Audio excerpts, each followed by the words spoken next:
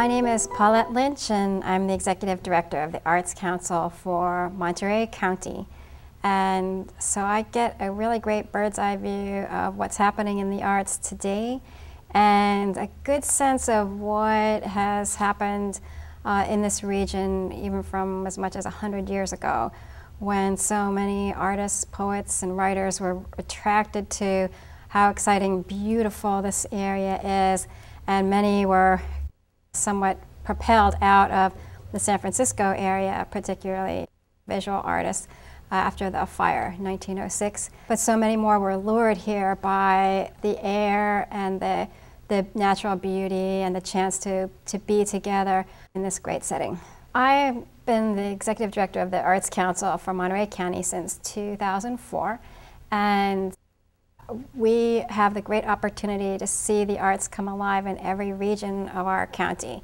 Most people are so familiar with what's happening in the Monterey Peninsula area, particularly they think about Carmel and the wonderful galleries that are there, and they think about Ansel Adams, Edmund Weston, and some others who came to the area and became really famous. But there's also so many things that are happening throughout the region, from King City, where there's a new gallery, exhibition, and performance space called Soul Treasures. In East Salinas, there's the Alisal Center for the Fine Arts, where so many things are happening. Hartnell has a wonderful theater that's called the Western Stage. There's just myriad opportunities now throughout the county for art to be created, for art to be presented, and for art of every discipline to be learned. And still, many of our artists and producers and presenters, musicians, are making it to a national stage. Fran Spector Atkins just created something called Ocean, and it's going to be a very multidisciplinary, multifaceted experience centered on dance with a lot of other things included. She just got a National Endowment for the Arts grant to continue producing that, to take it really, I'm, I'm sure it'll go national and maybe international in its overall impact.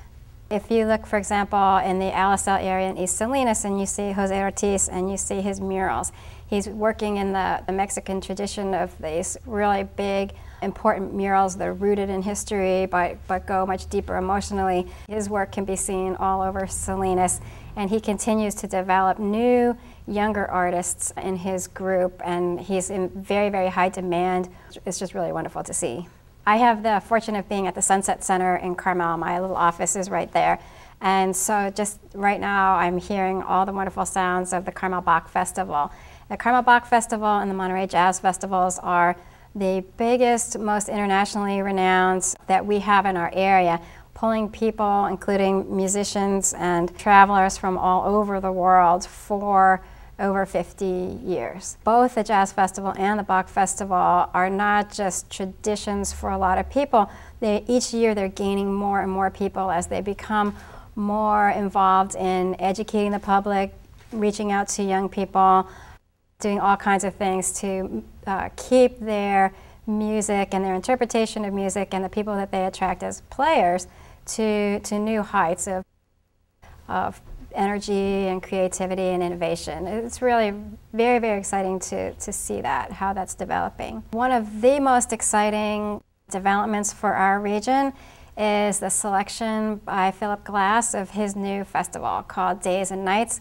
Philip Glass is an amazing composer. Some people might recognize his work from the film Koyaanisqatsi. That was probably one of the most famous, but he's done so many different things for film, for theater. It's really amazing to me that somebody of that international renown decided to select our region for his new festival. He will be performing. He'll be performing in a number of different settings, but he's also bringing in others, uh, dancers and poets and other musicians to create a wonderful experience for people that'll last a whole week in Carmel Valley, another gorgeous setting. He was attracted in part by uh, friendships that he had developed with Magnus Toren at the Henry Miller Library, which is right on the Big Sur, and a couple of the performances that will happen as a part of that whole Days and Nights Festival will happen at the Henry Miller Library. So it's, it's just really a lot of wonderful things coming together, and I just feel that Monterey County has this wonderful energy. It's not just something that happened 100 years ago. Some people came and thought it was great. It, there's current excitement around creativity, generally, but really wonderful performances, interacting with people, training people, getting them to a whole new stage in their own work, and then sharing that more broadly. Not everybody is as much of a fan of the arts as I am. I get that. But they, they that's how they think of themselves initially. But when you are able to get them in to the theater and you get them into a museum and you get them into a gallery, you, you get them somehow together and uh, help them experience something that they're already interested in in terms of the subject matter, all of a sudden now they realize, well, they really do love music. They do love theater. They love being in a space where they can feel something new and look at something new and think differently about just almost anything through the eyes or with the assistance of, of the artists. And I think that, uh, to me, that the Museum of Monterey is really well along that path of finding new ways to connect to the public. That will reverberate throughout our community, uh, among the people who come to Monterey County, and then also be inspiring, I think, for a lot of others in our region. And so I just really, I just really have great feelings about the whole, the whole process.